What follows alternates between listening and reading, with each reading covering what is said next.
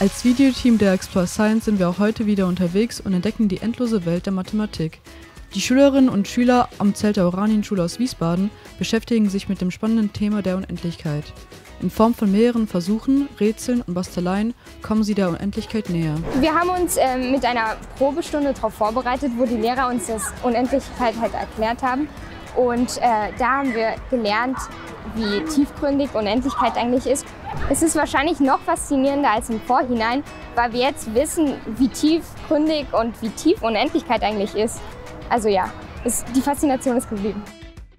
David Hilbert war ein deutscher Mathematiker, der das Gedankenexperiment entwickelte, um das Konzept der Unendlichkeit zu veranschaulichen. Das Hotel besteht aus einer unendlichen Anzahl von Zimmern, die alle nummeriert sind. Jedes der Zimmer ist bereits mit Gästen belegt. Dennoch wird die Frage gestellt, ob ein weiterer Gast einchecken kann. Die Antwort lautet ja. Alle Gäste müssen ein Zimmer weiter in Richtung Unendlichkeit aufrücken. Hilberts Hotel ist ein Gedankenexperiment, in dem man denkt, dass das Hotel unendlich viele Zimmer hat und das Hotel unendlich viele Gäste hat.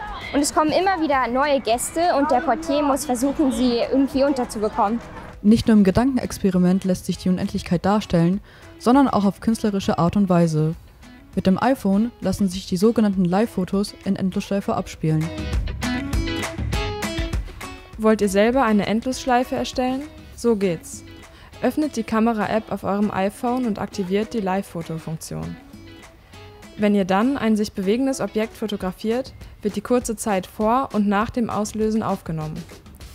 In der Galerie wählt ihr die Ansicht der Endlosschleife und schon bewegt sich euer Bild unendlich weiter.